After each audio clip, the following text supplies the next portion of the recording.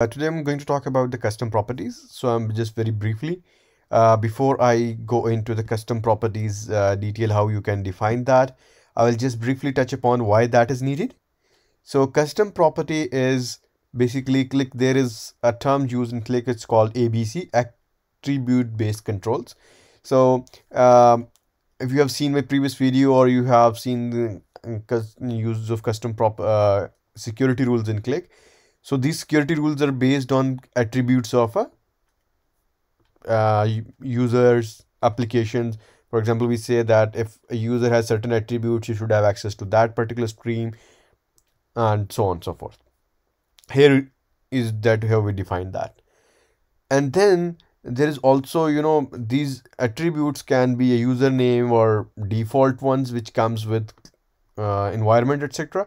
But we can define our customized ones because the system defined are very fixed but here we can have the access.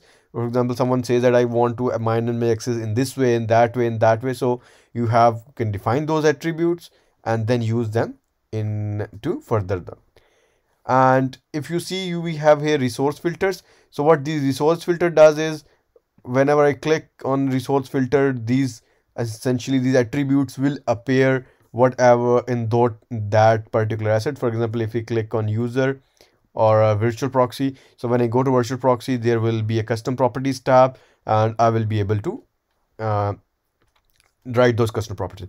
So custom properties by default does nothing.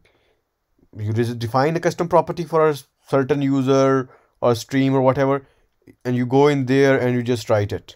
That's it. Pretty much it. But that doesn't do anything unless you use that in a security rule. And that is where it gets the power.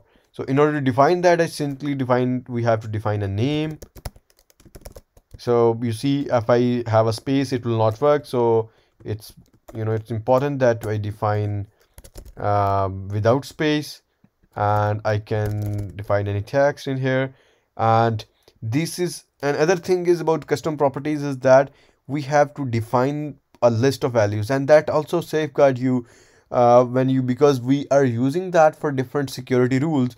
So if we just type in on the runtime with and there might be small differences it can cause issues. So that is why it's very important to define this uh, list of values in here and at any time we can come in and uh, uh update that even if once we have completed it. So uh, let's define custom property click on apply and uh, if I go to let's say I have defined this virtual proxies. So if I go to a virtual proxy now and if I just go in here and I see the custom property you see it is appearing here now. And I can just define it and then I can use that in uh, security rules. Okay. So that's pretty much it for today's video. Thank you very much